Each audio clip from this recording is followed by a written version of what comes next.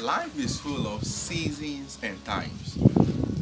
You may not agree with me, but actually that is how the, our life goes. Seasons determines or prolongs what will happen at a specific time. Most of us go through seasons in life and we get bored, we get upset, thinking that such seasons are not going to favor us. But that's, those kind of seasons will persist and grow into something called time. The event that happens, the hard times, the good times, they all constitute the season that produce something powerful at the end and we call it the time. When we take a look at pregnant women, they have a season of pregnancy for nine months and all those seasons many things happens sometimes they become restless in whatever they do they cry sometimes they vomit sometimes they have sleepless night but all those things are just season preparing them for a particular time which is called the ninth month. And the very moment where the baby comes out and the mother gives out a cry a smile becomes a particular time. All those are season preparing the baby to comfort what if the person fed up with it and got the baby ab- aborted?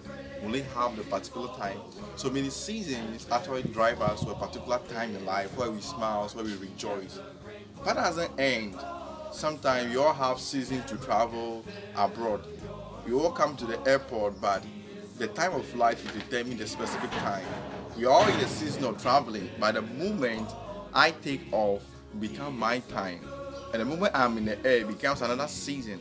And then when I land at a particular place that I want to go, becomes my time. So life is just full of seasons and time.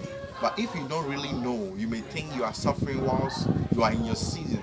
But actually, you have to rejoice and persist so that your time may come through the season.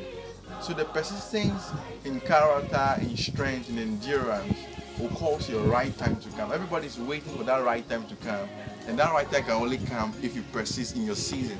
Your season may be a lot, little bit bitter, a little bit stressful, but that, that should that shouldn't prevent you from attaining your goal, which is your time. Know that your seasons work towards your time. So if you stop during the course of your season, there is no way you are, not, you are going to have your right time. We are all dreaming to have the right time in our life, the perfect time in our life, when we smile, we put, uh, we clap to hands, we thank God for making us proud and things. When you look at our school system, we school for so many years to attain a degree. All those times are the seasons in life we have. You study hard, sometimes you have difficulties, sometimes you fail some examination, you rewrite and all those things. Sometimes you, you starve because lack of money. But that's actually preparing you for a particular time in your life where you'll be given that, that degree award at that particular time. Why is it that you didn't take that degree before you started school, but you need to pass through a season of life of difficulties of training and learning before you can attain that particular time, what is called the time. So life is actually full of seasons and times. So if you don't try and understand life, know that life is full of seasons and time. If you are going through a season, rejoice, pray, and work hard because definitely your time is going to come. But nobody on this earth makes a magic.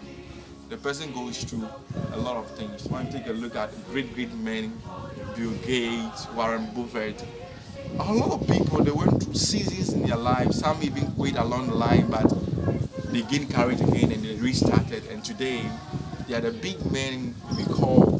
They are the people that are now renowned people because they went through seasons of life, and life brought them to their perfect time. So, brothers and sisters, let's work hard in our seasons so that our times will be perfect.